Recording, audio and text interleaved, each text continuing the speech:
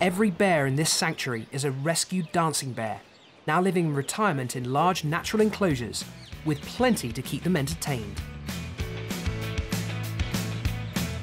While the bears are in another part of the sanctuary, I'm going to hide some of their very favourite food to show you exactly what makes the sloth bear so deadly. That should be a good bear challenge. This isn't just for our benefit. After a life in chains, this gives them a chance to act like wild bears again. And these logs here, they've got holes in them which I'm filling up with honey and bits of dates. Right, let's get out of here before the bears come back. Me and the crew retreat safely behind the fence to watch proceedings. It's hard to believe that these fluffy bears can be more deadly than a tiger. Bears have just come tearing over out of their enclosure and they can sniff the food a mile away. Oh my life, look at those claws! That is some serious weaponry. This one here is digging using those, those long claws.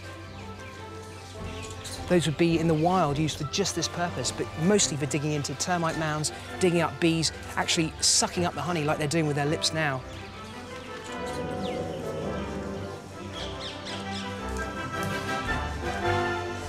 On, son. You can get it. That's the way. He's got it. He's got it. He's got the watermelon.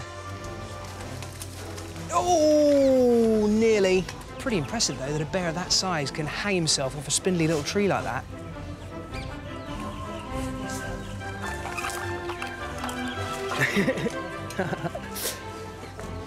It's just pure comedy. I can't put an animal on a deadly 60 that looks like a clown hangs upside down by its feet.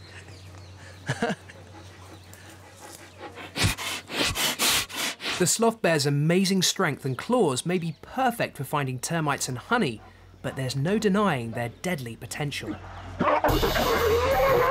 Oh, my life. It's just gone absolutely mad. All of a sudden, they've just gone from gentle feeding teddy bears to just a whirling mess of teeth and... I'm glad I'm not in there. This is why sloth bears can be so dangerous to people. They can just turn in an instant. They are utterly unpredictable. And when they do, they're strong, they're powerful, they've got those awe-inspiring claws. You really wouldn't want to be around one when it got angry. That fight just broke out over a piece of watermelon. These bears will fight teeth and claw to defend their food and their young. They'll even repel leopards and tigers.